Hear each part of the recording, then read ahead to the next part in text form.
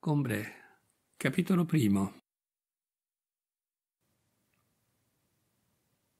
Per molto tempo mi sono colicato presto la sera. A volte, appena spenta la candela, gli occhi mi si chiudevano così in fretta che nemmeno avevo il tempo di dire a me stesso m'addormento. E una mezz'ora più tardi il pensiero che era tempo di cercar sonno mi ridestava. Volevo posare il libro che credevo di avere ancora fra le mani e soffiare sul lume. Non avevo smesso, dormendo, di ragionare su ciò che avevo appena letto, ma quelle riflessioni avevano preso una piega un po' particolare. Mi sembrava d'essere io stesso l'oggetto di cui il libro si occupava. Una chiesa, un quartetto, la rivalità fra Francesco I e Carlo V. Questa convinzione sopravviveva ancora qualche istante al mio risveglio. Non offendeva la mia ragione, premeva sui miei occhi come una squama e impediva loro di rendersi conto che la candela non era più accesa. Poi cominciava ad apparirmi inintellegibile, come dopo la metempsicosi, i pensieri di un'esistenza anteriore. L'argomento del libro si staccava da me. Ero libero di pensarci o meno, ma subito recuperavo la vista ed ero molto stupito di trovare intorno a me un'oscurità dolce e riposante per i miei occhi, forse più ancora per l'animo mio, al quale essa appariva come una cosa senza ragione, incomprensibile, nonché di veramente oscuro.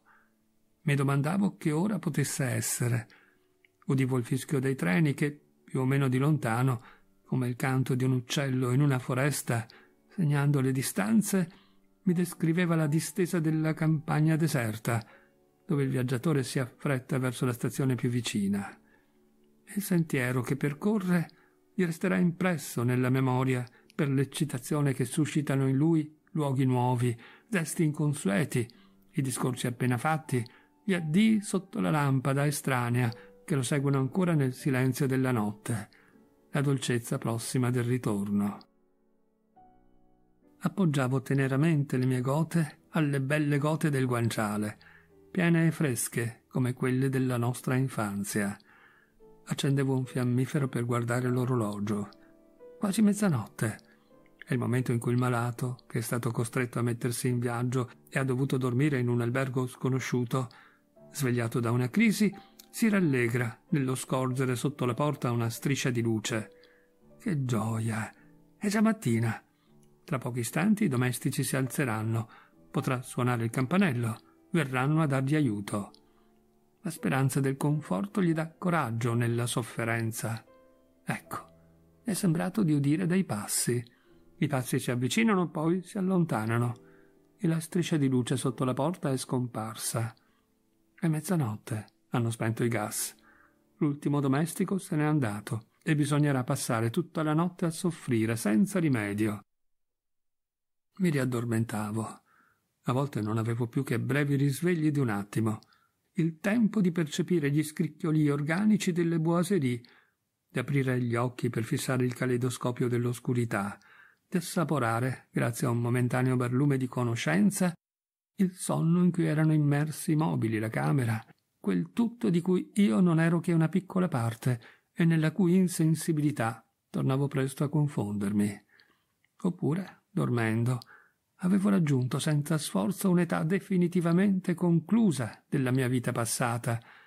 Avevo ritrovato qualcuno dei miei terrori infantili, come quello che il mio prozio mi tirasse per i boccoli e che era svanito il giorno, inizio per me di una nuova era in cui me li avevano tagliati. Durante il sonno avevo dimenticato quell'episodio. Ne ritrovavo il ricordo non appena riuscivo a svegliarmi per sfuggire alle mani del mio prozio, ma per precauzione affondavo completamente la testa nel guanciale prima di ritornare nel mondo dei sogni. A volte, come Eva nacque da una costola di Adamo, nel sonno, da una falsa posizione della mia coscia, nasceva una donna. Formata dal piacere che stavo per assaporare, mi immaginavo fosse lei stessa a offrirmelo. Il mio corpo, che sentiva nel suo il mio proprio calore, voleva unirsi a lei mi svegliavo. Gli altri esseri umani mi apparivano lontanissimi a confronto di questa donna che avevo lasciato da pochi attimi appena. La mia gota era calda ancora del suo bacio il mio corpo spossato dal peso della sua persona. Se, come a volte accadeva, vedevo in lei i lineamenti di una donna che avevo conosciuto nella vita, mi dedicavo interamente a un unico scopo, ritrovarla, come quelli che si mettono in viaggio per vedere con i propri occhi una città desiderata e immaginano si possa godere nella realtà l'incanto della fantasia. A poco a poco il suo ricordo svaniva. Avevo dimenticato la creatura del mio sogno. Un uomo che dorme tiene in cerchio intorno a sé il filo delle ore, l'ordine degli anni e dei mondi. Svegliandosi, li consulta istintivamente e vi legge in un attimo il punto della terra che occupa, il tempo che è trascorso fino al suo risveglio. Ma i loro cicli possono confondersi, spezzarsi. Se verso il mattino, dopo un po' di insonnia, s'addormenta, mentre sta leggendo in una posizione troppo diversa da quella abituale, basterà un braccio sollevato a fermare e a far indietreggiare il sole e nel primo istante del risveglio egli non saprà che ora sia e penserà di essersi appena coricato. E se prende sonno in una posizione ancora più irregolare e divergente, per esempio dopo cena, seduto in poltrona, allora lo sconvolgimento sarà totale in quei mondi usciti dalla loro orbita. La poltrona magica lo farà viaggiare a gran velocità nel tempo e nello spazio, e al momento di aprire le palpebre crederà di essersi coricato alcuni mesi innanzi, in un'altra contrada. Ma bastava che il mio stesso letto, il mio sonno fosse profondo e distendesse pienamente il mio spirito, ed ecco che questo abbandonava il luogo in cui mi ero addormentato, e quando mi svegliavo nel cuore della notte, ignorando dove mi trovavo, non sapevo sul momento nemmeno chi fossi. Avevo solamente, nella sua primitiva semplicità, il senso dell'esistenza, come può fremere nel fondo di un animale. Ero più spoglio dell'uomo delle caverne, ma allora il ricordo, non ancora del luogo in cui mi trovavo, ma di alcuni tra quelli che avevo abitato e dove avrei potuto essere, veniva a me come un aiuto dall'alto, per trarmi dal nulla donde non sarei potuto uscire da solo.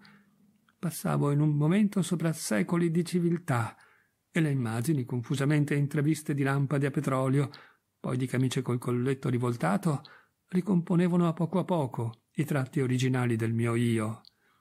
Forse l'immobilità delle cose intorno a noi è imposta loro dalla nostra certezza che sono esse e non altre, dall'immobilità del nostro pensiero nei loro confronti. Il fatto è che quando mi svegliavo in quello stato, mentre il mio spirito si agitava per cercare, senza riuscirci, di sapere dove fossi, tutto, le case, i paesi, gli anni, girava intorno a me nel buio. Il mio corpo, troppo intorpidito per muoversi, cercava, seconda della forma della sua stanchezza, di ritrovare la posizione delle proprie membra per dedurne la direzione della parete, la disposizione dei mobili, per ricostruire e dare un nome alla dimora in cui si trovava. La memoria di sé la memoria delle sue costole, delle sue ginocchia, delle sue spalle. Gli presentava una dopo l'altra parecchie delle camere in cui aveva dormito, mentre tutt'intorno le pareti invisibili, mutando posizione a seconda della forma della stanza immaginata, turbinavano nelle tenebre.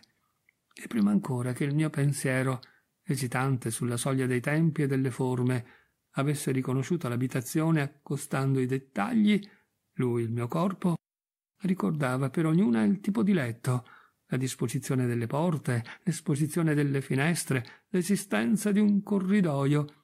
E insieme le cose che avevo pensato addormentandomi là e che ritrovavo al risveglio.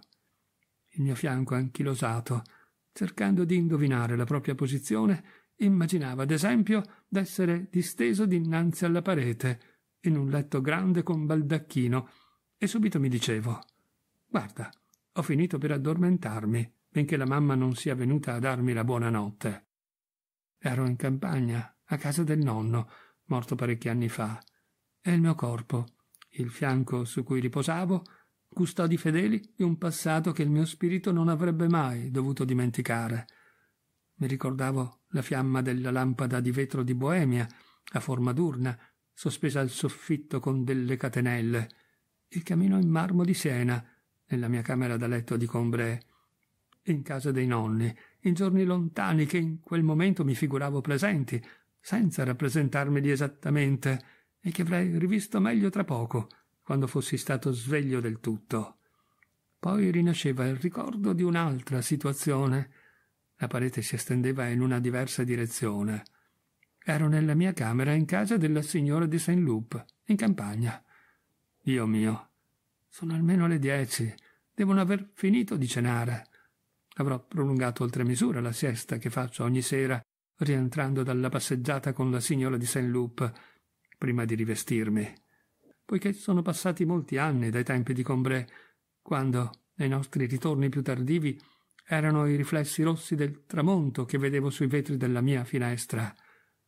È un altro genere di vita, quello che si conduce a Thomsonville, in casa della signora di St. Loup. Un altro genere di piacere, quello che provo nell'uscire soltanto di notte, nel percorrere al chiaro di luna quei sentieri dove un tempo giocavo al sole, e la camera nella quale mi sarei addormentato, invece di vestirmi per cena, la scorgo di lontano quando rientriamo, attraversata dalle luci della lampada, unico faro nella notte. Queste evocazioni vorticose e confuse non duravano mai più di qualche secondo. Spesso la mia breve incertezza circa il luogo in cui mi trovavo non discerneva le une dalle altre le diverse supposizioni di cui era costituita, così come non riusciamo a isolare, vedendo correre un cavallo, le pose successive che ci mostra il cinetoscopio. Ma avevo rivisto ora l'una, ora l'altra delle camere che avevo abitato nella mia vita, e finivo per ricordarmele tutte nelle lunghe fantasticherie che seguivano al mio risveglio. Camere d'inverno, dove una volta coricati rannicchiamo la testa in un nido intessuto delle cose più disparate, un angolo del guanciale, l'orlo delle coperte, il capo di uno scialle, la sponda del letto e un numero dei Debat Rose che finiamo per cementare insieme, secondo la tecnica degli uccelli, standovi appoggiati indefinitamente, dove se il tempo gelido, il piacere che si prova è di sentirsi separati dall'esterno, come la rondine marina che ha il suo nido in fondo a un sotterraneo, nel calore della terra, e dove essendo rimasto acceso il fuoco tutta la notte nel camino, si dorme in un'ampia coltre d'aria calda e fumosa, attraversata dai bagliori dei tizzoni che si riaccendono sopra l'impalpabile alcova di una calda caverna scavata all'interno della camera stessa, zona ardente e mobile nei suoi contorni termici, ventilata da soffi che ci rinfrescano il viso e vengono dagli angoli, dalle parti vicine alle finestre o lontane dal fuoco, e che ci sono raffreddate. Camere d'estate, dove è bello sentirsi uniti alla notte tiepida, dove il chiaro di luna, adagiato sulle imposte socchiuse, getta fino ai piedi del letto la sua scala incantata, dove si dorme quasi all'aria aperta, come la cincia cullata dalla brezza sulla punta di un raggio. A volte la camera Luigi XVI, così allegra che nemmeno la prima sera mi c'ero sentito troppo infelice, e dove le colonnine che sostenevano leggero il soffitto si allontanavano con estrema grazia per mostrare e riservare lo spazio del letto. A volte invece quella piccola e con il soffitto molto alto, scavata in forma di piramide per un'altezza di due piani, e in parte rivestita di mogano, in cui fin dal primo momento ero stato moralmente intossicato dall'odore sconosciuto di vetiver, convinto dell'ostilità delle tende viola e dell'insolente indifferenza della pendola che schiamazzava forte come se io non ci fossi stato, dove una strana e impietosa specchiera, con base quadrangolare, sbarrando obliquamente uno degli angoli della stanza, si apriva a forza uno spazio che non era previsto nella dolce pienezza del mio abituale campo visivo, dove il mio pensiero, sforzandosi per ore di librarsi, di innalzarsi per prendere esattamente la forma della camera e giungere a riempire fino in cima il suo imbuto gigantesco, aveva sopportato molte notti penose, mentre me ne stavo disteso sul letto, con gli occhi levati, le orecchie tese, le narici contratte, il cuore che batteva.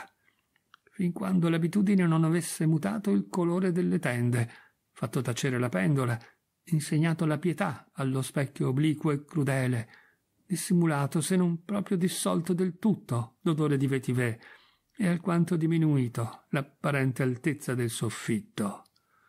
L'abitudine. Ordinatrice abile ma terribilmente lenta, che comincia con il lasciar soffrire il nostro spirito per settimane in una sistemazione provvisoria, ma che nonostante tutto esso è ben contento di incontrare, giacché senza l'abitudine e ridotto ai suoi soli mezzi, sarebbe impotente a renderci abitabile una casa. Certo, adesso ero proprio sveglio.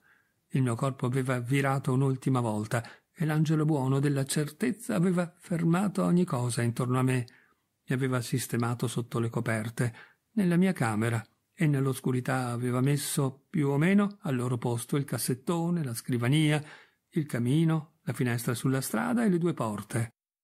Ma avevo un bel sapere che non mi trovavo nelle dimore di cui l'ignoranza del risveglio mi aveva per un attimo, se non presentato l'immagine chiara, quantomeno fatto credere possibile la presenza. La mia memoria ormai si era messa in moto.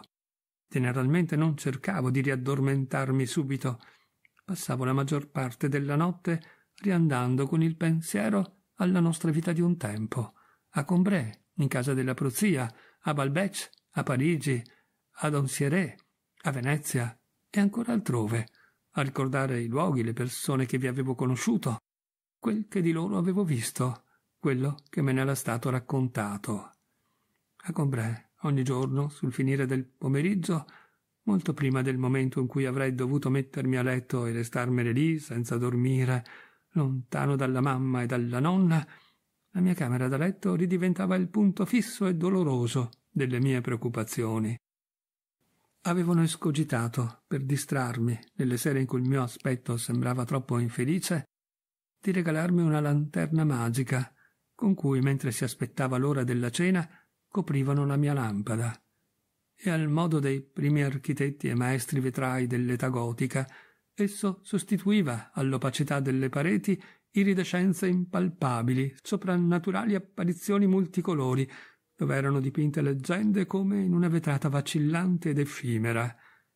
Ma la mia tristezza ne era cresciuta, da che il semplice cambiamento di illuminazione bastava a distruggere l'abitudine che avevo della mia camera e grazie alla quale, salvo il supplizio dell'andare a dormire, essa mi era diventata sopportabile.